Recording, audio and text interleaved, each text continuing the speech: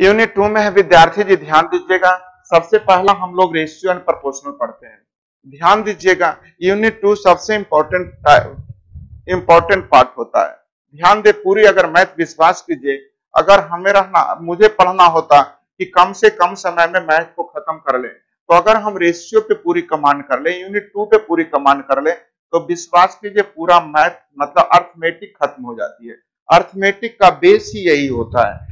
Arithmetic पूरी arithmetic का base होता है। विद्यार्थी जी जब भी ध्यान रखिएगा पूरी अंगणित बनाने के आज तक दो ही तरीके बने हैं। एक तो आप लोगों का इक्वेशन डेवलप करना समीकरण तैयार करना जैसा कि आप लोग मानते थे माना कि क्रैमुल एक्स रुपया है माना कि, कि माना कि चाल एक्स किलोमीटर प्रति घंटा है है ना दूरी बाई किलोमीटर है तो जैसा ही आप एक्स बाई मानने लगते थे तो एक समीकरण डेवलप होता था। और समीकरण को हल कर देते थे तो आपका आंसर निकल जाता था। तो पहला तरीका तो जो हम लोग स्कूल बेस से पढ़ते आ रहे हैं समीकरण डेवलप करना।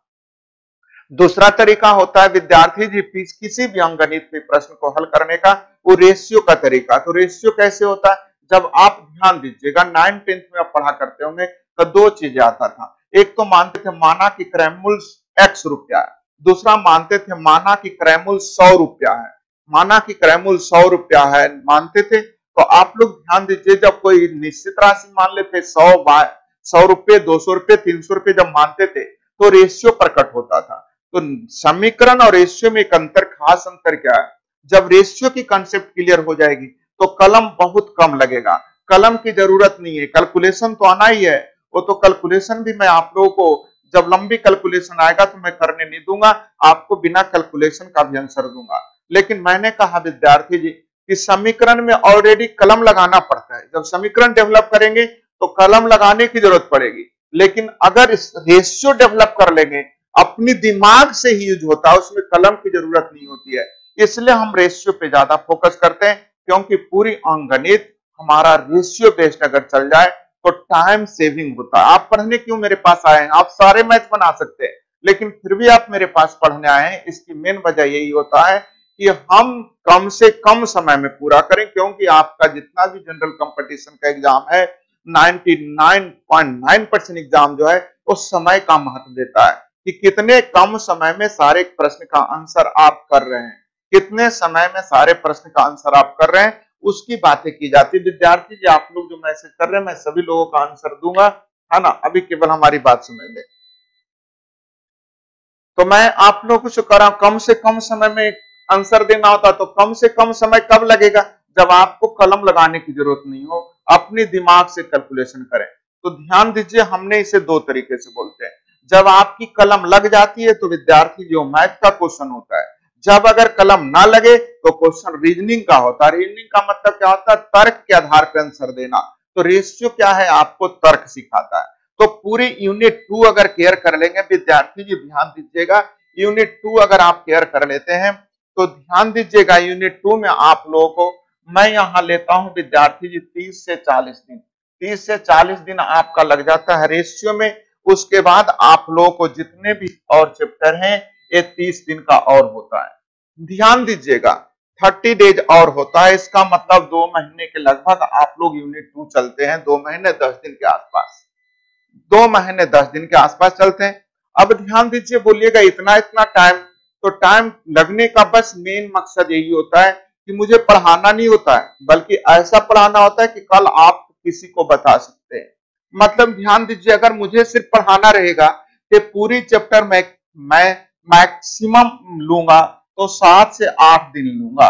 सात से आठ दिन में समाप्त हो सकती है। लेकिन इसमें होता क्या है? होमवर्क आप पे छूट जाता आप बना लो, अच्छी बात है, नहीं बना लो, हमें क्या जाता है? लेकिन अगर तीस से चालीस दिन लेते हैं तो उसमें आपको होमवर्क बनाना पड़ेगा और आपसे मैं बनवा लूँगा। बोलिएगा सर ऑनलाइन है? कैसे आप बनवा लीजिएगा? मैं आपको इतना प्रेशर करता हूँ, आप खुद ब खुद बना के आते हैं और बना लेते हैं। विश्वास कीजिए, मेरा ऐसा सोच है कि मैं आप लोगों से बनवा लेता हूँ। अगर होमवर्क नहीं बनवाएँगे तो सात से आठ दिन का है। तो मैंने कहा, विद्यार्थी जो यूनिट टू की बातें मैंने कर ली, जो सबसे ज़्यादा इंपॉर्टेंट आपका रेशियो है, जैसे ही रेशियो एंड प्रोपोर्शनल पढ़ा लेते हैं तो आप लोग को बताने चलते हैं कि देखिए सारे चैप्टर में रेशियो लग रहा है यानी मात्र एक रेशियो लिखिएगा और आंसर दीजिएगा। ये रेशियो का छोटा छोटा पार्ट है सारे चैप्टर विद्यार्थी जी। जितने भी चैप्टर आप देख रहे हैं रेशियो का ही पार्ट है। मतलब एक रेशियो लिख लो और सारे चैप्टर का आंसर दे सकते हो। अब आते हैं विद्यार्थी जी, ध्यान दीजिएगा। यूनिट टू में मैंने कहा रेशियो है प्रोपोर्शनल जैसे हिंदी में आप लोग मिश्र अनुपात कहते हैं। मिश्र अनुपात जैसे बोलते होंगे। पाँच आदमी किसी काम को पंद्रह दिनों में तो दस आदमी कितने दिनों में? भाई रेशियो है। पाँच आदमी, दस आदमी का मतलब रेशियो एक दो का है तो समय दो एक का लग जाएगा। अर्थात उधर पाँच दिन तो इधर अढ़ाई दिन।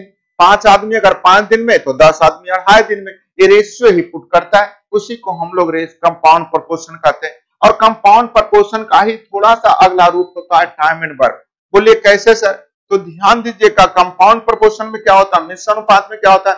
पाँच आदमी किसी काम को करता, दस महिलाएँ किसी काम को करता, लेकिन टाइम एंड वर्क में वही कहता ए बी सी किसी काम को करता। है तो यहाँ जब ध्यान दीजिए, कोई नाम आने लगता है तो टाइम एंड वर्क हो जाता है, और जब ग्रुप आने लगता है तो कंपाउंड प्रपोर्शन हो जाता है। उसके जस्ट आगे चलिएगा तो वर्क एंड वेजेज भाई, काम कियो तो मजदूरी तो मिलना चाहिए। ये सारी बातें करूँगा, ये मुश्किल से एक महीने का क्लास होता है, विद्यार्थी एक महीने में हो जाते हैं। अर्थात लगभग दो महीने का क्लास होता है यूनिट टू मेन टाइप अब चलिए विद्यार्थी जी, मैं यूनिट थ्री पे चल